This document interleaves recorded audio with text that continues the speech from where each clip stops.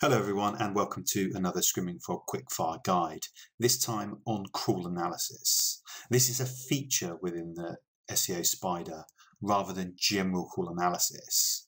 So usually the SEO Spider analyzes data and reports it in runtime where metrics, tabs and filters are populated during the crawl. However, things like link score, which is an internal page rank uh, calculation, and a small number of filters require calculation at the end of the crawl. This is where crawl analysis comes in. And you can find crawl analysis up here in this top level menu. If you click on configure, you can see the items that require crawl analysis at the end of the crawl. So link score, some filters under pagination, hreflang, AMPs, sitemaps, um, and orphan URLs for analytics and search console.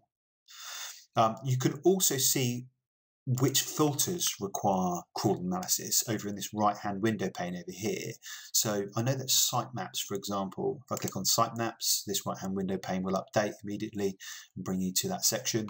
You can see a, a number of filters here require crawl analysis. Um, this is because processing whether URLs are in the crawl but not in the sitemap or vice versa is best processed post crawl rather than during the crawl itself. So there's two ways that you can run crawl analysis. You can do it manually at the end of the crawl. You can simply go to crawl analysis. Um, you can configure it and choose what options just by ticking or unticking these um, options and then clicking start and it will run crawl analysis. I'll do that now.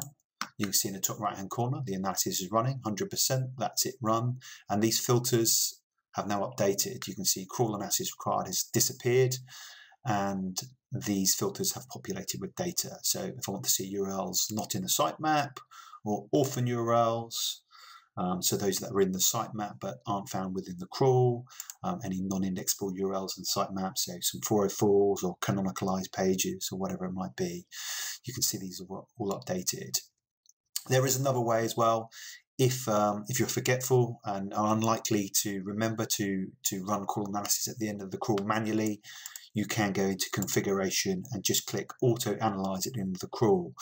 So when a crawl reaches 100%, it will automatically perform crawl analysis at the very end of a crawl. I hope that's helpful on crawl analysis. Thanks.